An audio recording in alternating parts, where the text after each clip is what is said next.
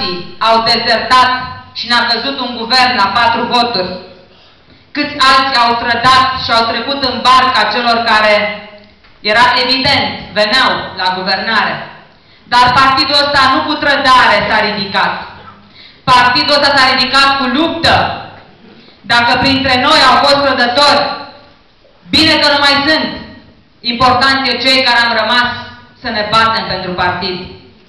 Partidul are nevoie azi de o nouă energie. Partidul astăzi are nevoie de o schimbare. Dacă lucrurile așa cum sunt acum ar fi plăcut electoratului nostru, ne-ar fi votat în decembrie.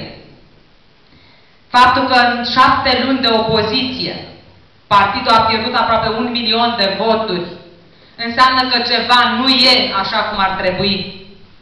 Înseamnă că indiferent ce ne place nouă să ne spunem când ne vedem, ce ne place nouă să ne spunem când ne uităm în oglindă dimineața, că suntem buni, că suntem frumoși, că suntem așa cum trebuie.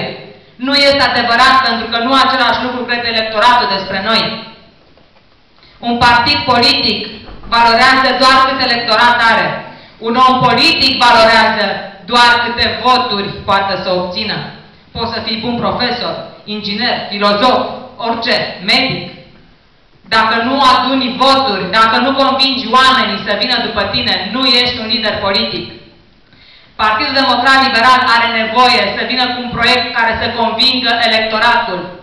Un proiect care să aducă din nou oamenii la urne pentru noi, așa cum nu s-a mai întâmplat în 2012.